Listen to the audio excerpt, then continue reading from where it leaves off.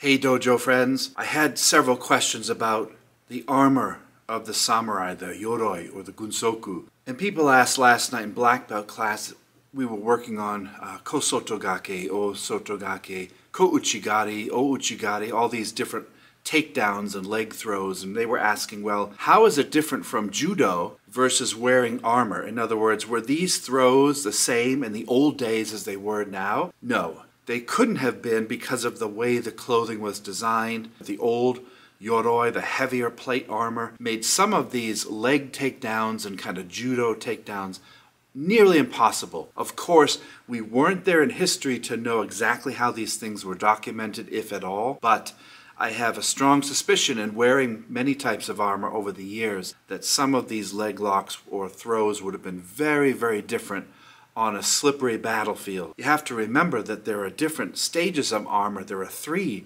You have the classical armor and the newer armor that's more flexible and able to move. There's entire periods of history like the Sengoku where they were in battles all the time and they were on horseback. So the armor had to be different, the haidate had to be different. Some pieces of armor were left off in the Edo period and modern times so that you could move more when horses weren't around. And you didn't have large, like naginata halberds or spears or bow and arrow anymore. You had smaller swords, shorter swords.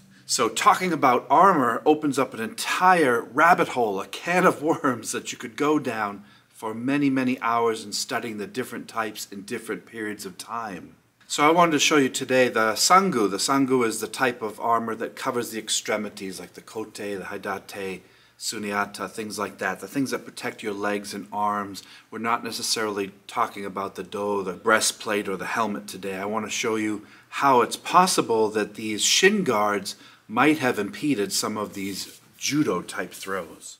Now this armor needs some work. It needs to be dusted and redressed, so to speak. I haven't done it in many, many, many months, and it gets kind of messy from here at the dojo, moving around and shifting it and things like that. Starting from the waist down, you have the obi belt, but this obi belt, this thick one here, was actually worn under the armor. In display, you put it over, but this is pre preventing this dole, this plate, from cutting into you if you're sitting on a horse.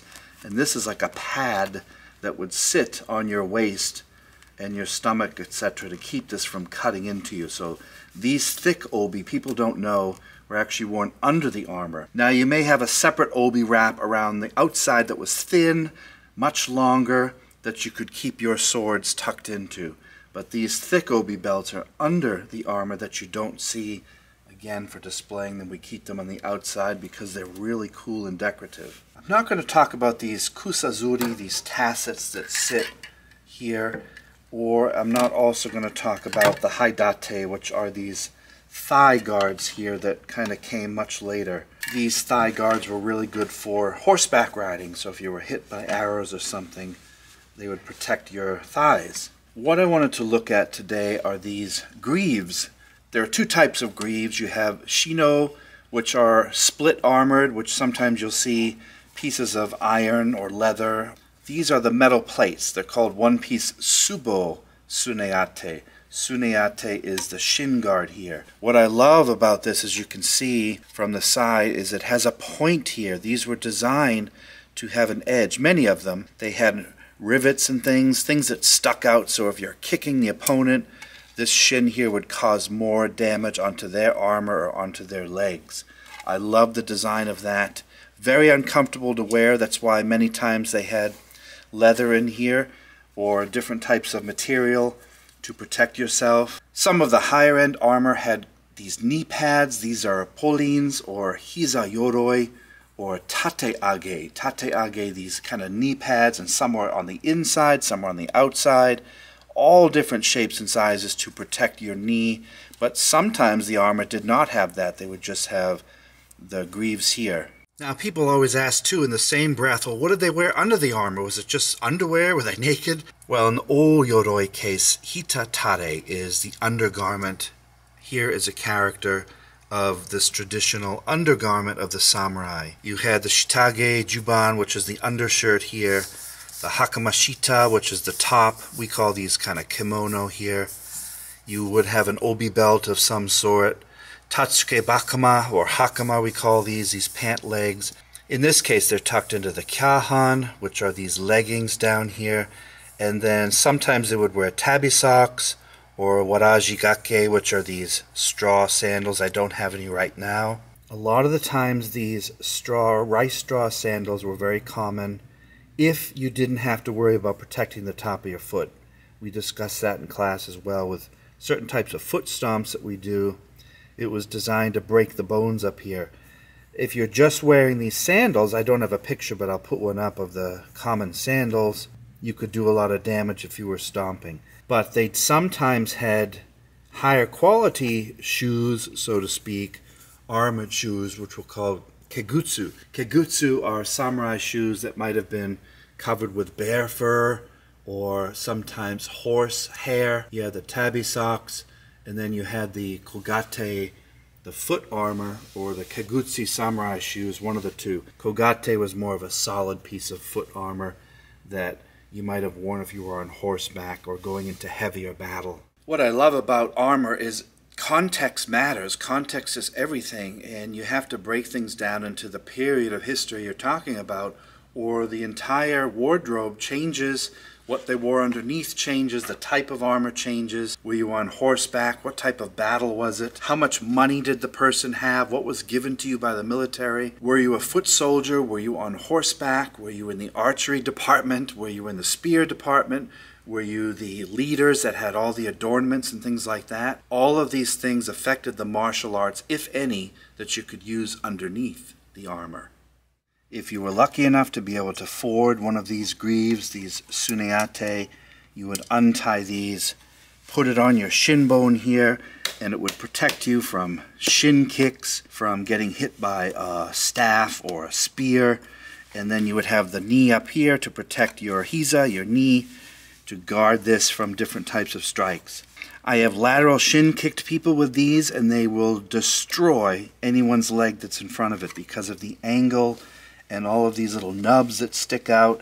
Everything has an edge to it, protected in here, but as nasty as the designer could make it out here and decorative to destroy whatever it's kicking or hitting, these are beautiful. I love the Tsuneate here. Interesting part of the armor, interesting part of the outer armor called the Sangu, the armor that protects the extremities of the samurai. I wish I had some shoes to show you, but I don't. I apologize. Um, I just don't spend money on the shoe wear of the samurai because I'm not going to wear it. I'd rather wear a nice pair of sneakers. So with these Subo Tsuneate, these one-piece or two-piece greaves here, I think it would be very hard to do certain types of leg sweeps, and that's what to circle it around. We were talking about last night in black belt class. We were working on these different leg takedowns, and we were thinking, well, wouldn't these lock and hit together in combat? And I said, absolutely. They might get stuck on each other. You might get these stuck so that your legs bind together when you're trying to sweep a leg. Would you be more likely to reap the leg and lift it off the ground like a gatke, or would you pin it more like a gare where you, you might block and hold the heel as you knock the opponent over. So many factors. It would not be smart to lift your leg off the ground if you're wearing 40 pounds of extra armor. You would fall. You have to remember that this was done on a battlefield, outdoors when it's misty and slippery or bloody, muddy on the battlefield. Angles in the environment. Are you on a hill? Are you just jumping off your horse? What type of footwear are you wearing? Are you wearing the heavy kogake big boots or are you wearing the straw sandals that make it much easier to move? Often the straw sandals, you would have the sandal and then your, your toes would sit over the straw so that your big toe and the other toes would actually touch the ground and the sandal would sit farther back on your foot. A lot of people don't know that either. They think the sandal's way out. No, the sandal's back so that your toes can grip the ground when you're running. You get some traction. That's not to mention when you're in this kumiuchi type of grapple. In the old days, you had on weapons. You couldn't get close. You had a wakizashi or a katana. You had halberds and things and spears. Not to mention up top, you had your helmets. You have a giant helmet with big adorned horns and things. How are you going to get close to the opponent if you have a flag on your back or a giant horn here? You're going to lock. Think of two stags fighting in the forest. They get locked together, two rams locking together.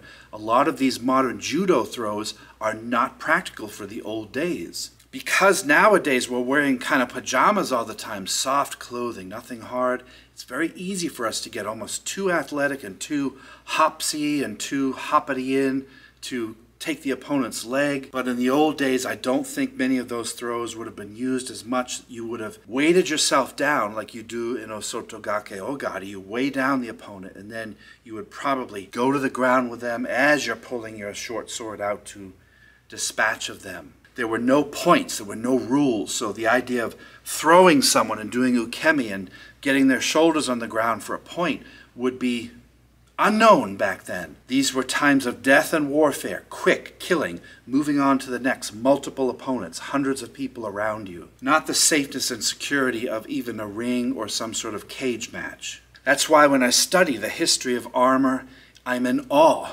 in awe of the armor and what it entailed and the imagined brutality of living back then. You and I have nothing to complain about living in this century as compared to living in 15th century Japan. Our days are easy and truly blessed compared to the days of the samurai of old.